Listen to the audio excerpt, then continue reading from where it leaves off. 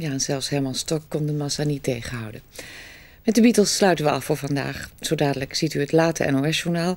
Hanneke Groenteman is er morgen om 10 uur op Radio 5 met Factor 5. En Vara Televisie is er weer aanstaande donderdag en ik hoop u ook. Welterusten.